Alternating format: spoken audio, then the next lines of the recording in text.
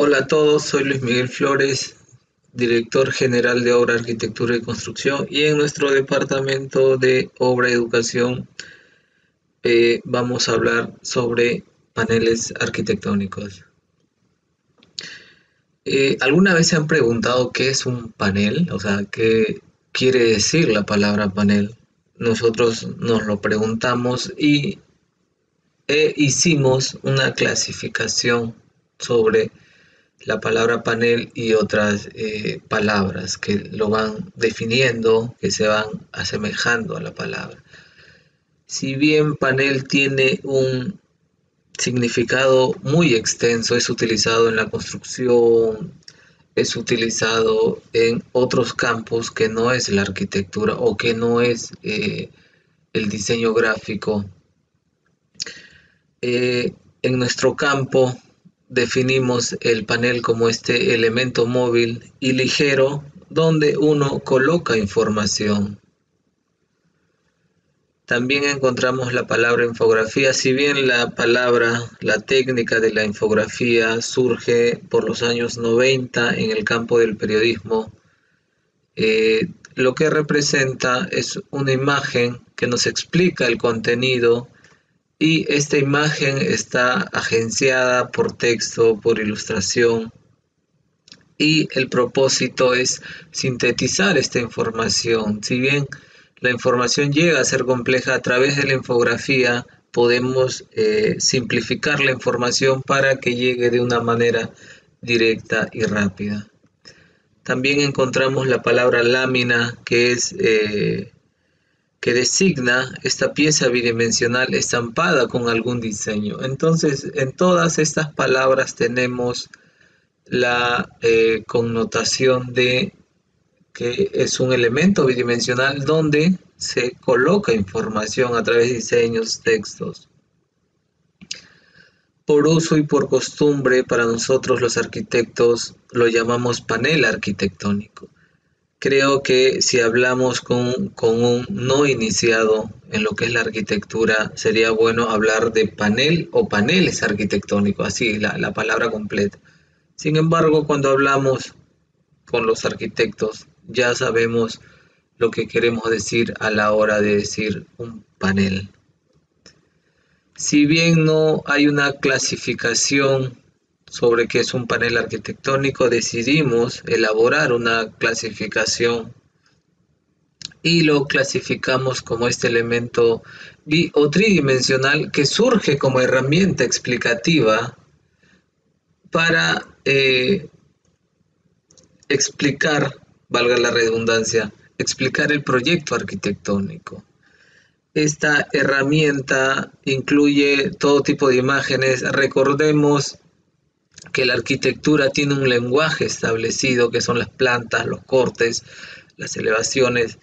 Todo este lenguaje de la arquitectura dentro del panel arquitectónico se va agenciando de textos, de gráficos, de diagramas, para poder explicar de forma simple y directa el proceso y la obra arquitectónica de la cual surge.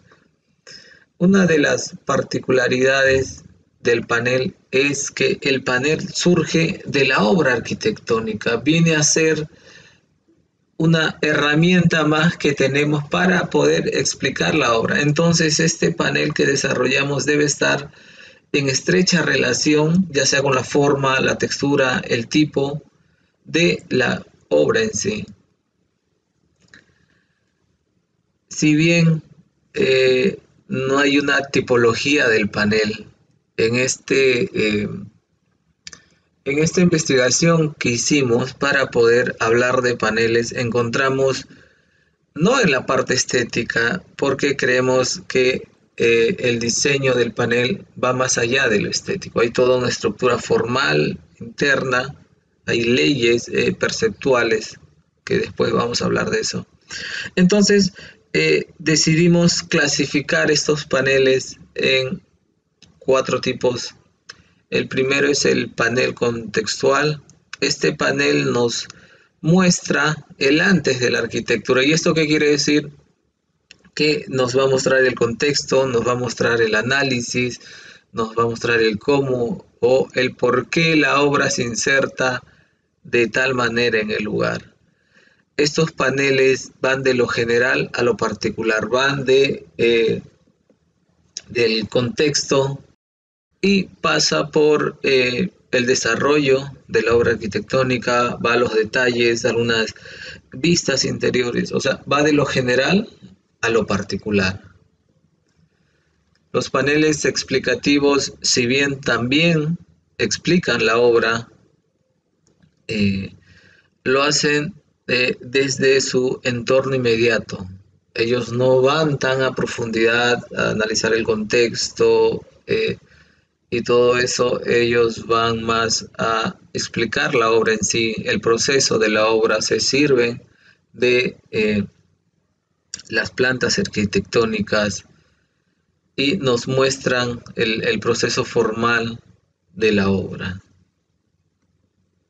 Aquí algunos ejemplos. Tenemos eh, una serie de paneles que van utilizando las plantas, esa axonometría planimétrica que utilizan y la imagen eh, pregnante, como yo la llamo, que después vamos a hablar de eso, ¿no? que es la imagen pregnante en los paneles arquitectónicos. Los paneles de proyecto eh, son un poco más sencillos, pero no menos importantes, porque cada herramienta está diseñada para una función determinada.